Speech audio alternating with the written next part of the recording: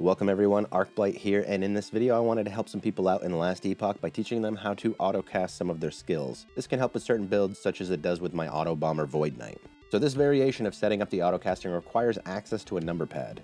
If you don't have one, you'll probably have to use some software to set up AutoKey, but for now, let's go with the number pad method.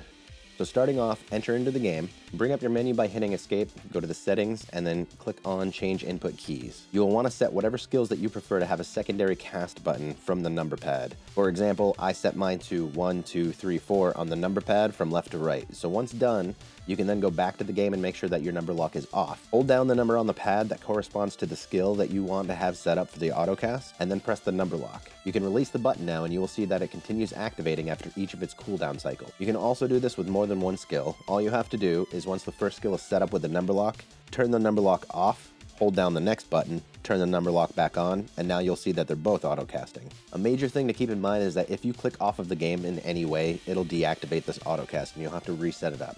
So if you have two monitors and you go over and click onto another screen, it's going to turn it all off and you're going to have to go back in and reset everything up again. But besides that, if you stay within the game, the autocasting will keep going even if you load into other maps or different areas of the game, if you open up your inventory or anything like that.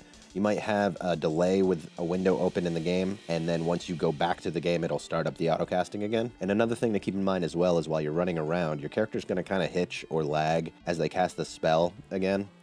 Uh, you'll get used to this. It's a little weird, but it's actually not that bad. Regarding people's concern over whether or not this is technically allowed in Last Epoch, I'll just say that the developers aren't fans of this method, but they have not banned anyone for doing this.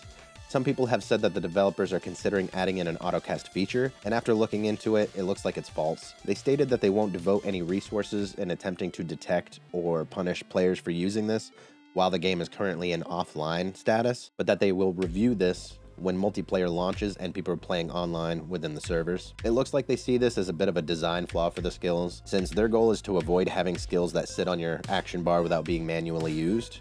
So eventually they're likely to rework the skills themselves to try and bring benefits to manually casting them as opposed to auto casting them. But for now, this trick is fair game. So anyway, I hope this video helped you out. And if you would like to hang out further, you can find me on Twitch at twitch.tv slash arcblight, or you can even join my Discord. Both links will be down in the description below. And as always, everyone, thanks for watching.